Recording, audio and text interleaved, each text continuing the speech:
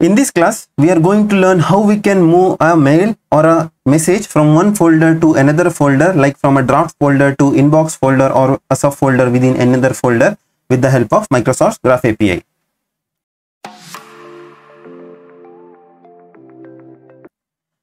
I am here in the official documentation page by Microsoft on using Microsoft Graph REST APIs. From the table of content, we need to traverse to messages, which is under mail. And from there, we need to click on this copy message.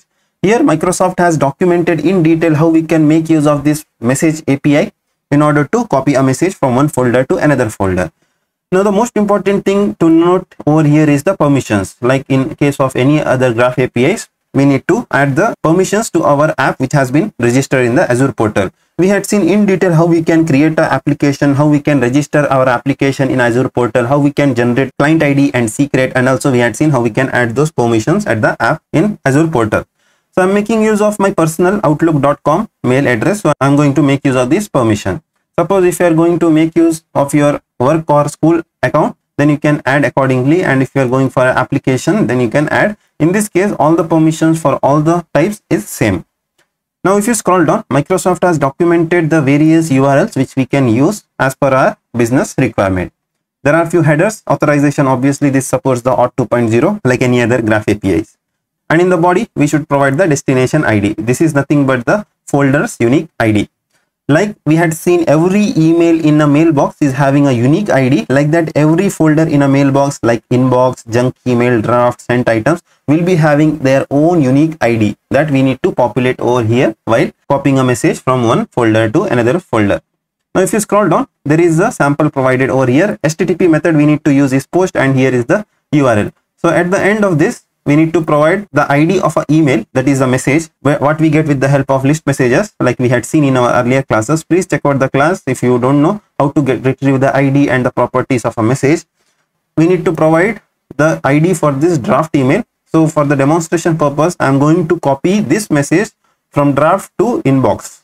That is inbox 01 which is a subfolder of this inbox so we need to populate the ID for that mail and the destination value. It will be the ID for this inbox underscore 01 folder. That's the unique ID. So without wasting much time, let's begin with the hands-on. I'm here in the Postman client. I have created the request over here, which will copy a message from one folder to another. Now with the help of list messages, as we had seen in our previous class, we will be getting a unique ID for a mail. Now this is the unique ID, which is for our draft mail, which I had shown earlier this class. Let me copy this from here, go to copy message and paste after this messages over here that is between copy and the messages. Paste it over here. Now we need to provide the destination ID over here. Now you might get a question how we can retrieve the ID for a particular folder. Now in order to retrieve the ID for folder, if you scroll down, there is a section called as mail folder.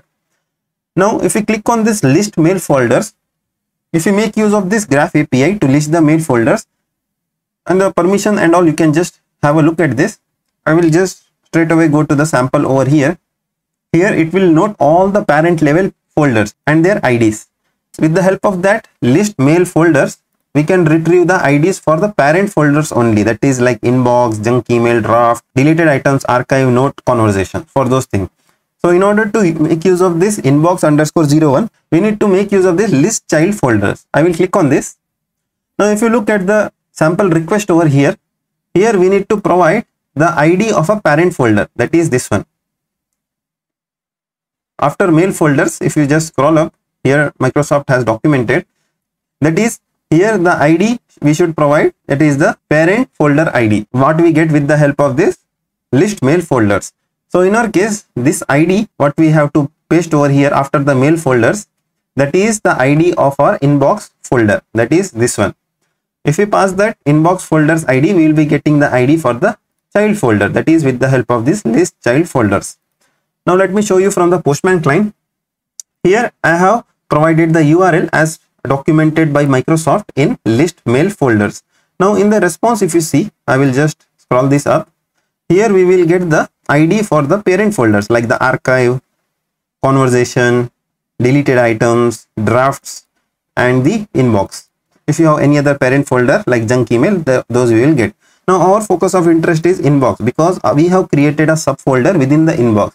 Suppose if you have created a subfolder within the draft sent item, so and so forth, then you have to consider the ID for that particular parent folder. Now we need to copy this from here and paste it over here. That is between the mail folders and the child folders. If you click on send, just make sure you populate the permissions over here appropriately. Then only you click send. Then only you will get the permission to get the id for the subfolders. Now if you just scroll down in the response here we will get the id for inbox 01 that is the folder what we have created over here within the inbox. That is a subfolder or a child folder. Now we need to copy this from here.